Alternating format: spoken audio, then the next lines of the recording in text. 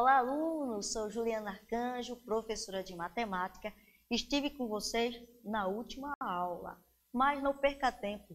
Pegue seu caderno, seu lápis e vamos estudar. A aula de hoje é continuação sobre notação científica. Vamos lá? Será que você está preparado? Vamos começar. Antes, vamos pegar aqui o desafio matemático. Será que você acertou? No desafio matemático da aula anterior, nós tivemos que a nossa galáxia, a Via Láctea, contém cerca de 400 bilhões de estrelas. Como ficará este número em notação científica? E aí, será que você acertou? Vamos lá. Este número em notação científica, olha aí, bilhões. Bilhões tem os 9 zeros, com os 2 dos 400, então ficará 4 vezes 10 elevado à 11ª potência, ou a 11, ok? E aí você acertou? A resposta seria a letra D. Mas hoje nós vamos aprender situações mais complexas que envolvam mais de uma grandeza, ok? Vamos ver aqui esse exemplo. A velocidade da luz é de cerca de 300 mil quilômetros por segundo. Que distância a luz percorre no minuto? Você notou aqui que nós estamos trabalhando agora com mais de uma grandeza? Vamos lá. Temos que observar bem o enunciado. Nós mostramos 300 mil quilômetros por segundo. Já a nossa pergunta, que distância percorre a luz no minuto?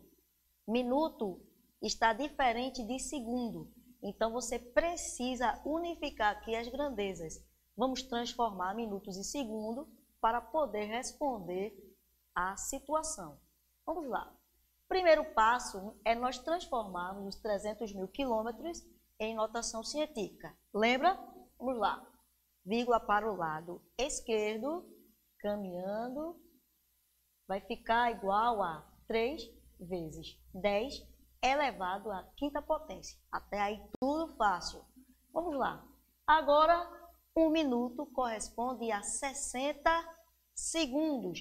Precisamos transformar 60 segundos também em notação científica. Então, ficará assim, 6 vezes 10 elevado à primeira potência. Agora, a pergunta principal é, se a luz percorre uma distância de 300 mil quilômetros em um segundo, quanto essa mesma luz percorrerá em um minuto. Então, você vai multiplicar aí o 3 vezes 10 elevado à quinta, vezes 6 vezes 10 elevado à primeira potência. Calma, não precisa se desesperar, não é nada difícil. Eu vou mostrar aqui como é bem simples. Você vai multiplicar apenas os primeiros números que estão à frente das bases 10. No caso aí foi 3 e 6. Então, é 3 vezes 6, 18. Tá vendo como é fácil? E, já que a base é 10, ou as bases são 10, são bases iguais, e as propriedades da, da potência nos diz que, quando multiplicamos potência de mesma base, então repete-se a base, a base 10 vezes 10, e somam-se os expoentes, 5 mais 1, que é igual a 6. Vê que fácil. Repetindo de novo essa propriedade. Multiplicação de potência de mesma base, repete a base e somos expoentes. Então, a luz percorre, a velocidade da luz percorre 18 vezes 10 elevado a 6. Mas calma, este número está em notação científica? Olhe um pouco. 18 18 é um número maior que 10. Então, este número não está em notação científica. Temos que primeiro transformar o 18 em notação científica e depois adaptar ali. Vamos lá. 18 significa que é 1,8 vezes 10, a primeira potência. Ainda tem o vezes 10, a sexta potência. Só é repetir agora 1,8 e multiplicação de potência de mesma base, você já aprendeu. Repete a base e somam-se os expoentes. 1 mais 6 é igual a 7. Tudo bem aí? Tá vendo como foi fácil? Vamos ao próximo exemplo? A nossa galáxia, a Via Láctea, contém cerca de 400 bilhões de estrelas. Você já aprendeu isso. Suponha que 0,05% dessas estrelas possuam um sistema planetário onde existe um planeta semelhante à Terra. Então, o número de planetas semelhante à Terra na Via Láctea é, vamos descobrir? Aí as grandezas, bilhões, 0,05%, 400 bilhões você já aprendeu como representar. Agora, o 0,05%, você tem que agora transformar aqui no número decimal.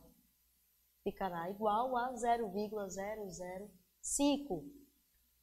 Tá fácil agora? Só é agora. Veja como ficaria esse cálculo.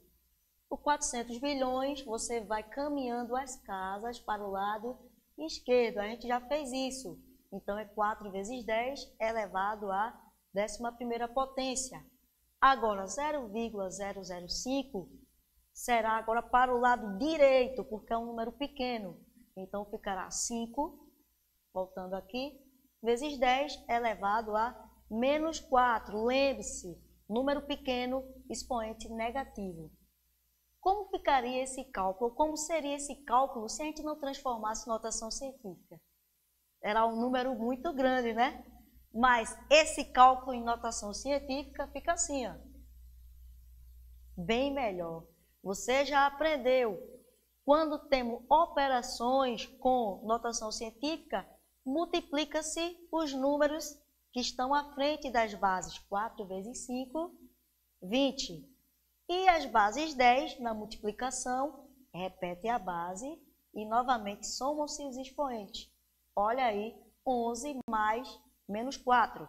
Seu professor já ensinou que tem que fazer o joguinho de sinais. Mais com menos, menos, então ficará 11 menos 4, 7. Olha aí, concluiu? Ainda não, lembra?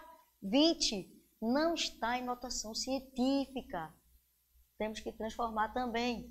20, olha aí, 20 é 12,0 vezes 10 a primeira potência, vezes o 10 elevado à sétima. Então, só é agora, repete o 2,0, a base é 10, somando os expoentes, 8. Olha aí, você aprendeu agora a trabalhar operações com notação científica. Então, espero que você tenha aprendido um pouco sobre este assunto e nos veremos na próxima aula. Então, Fique com Deus, fique na paz e até mais.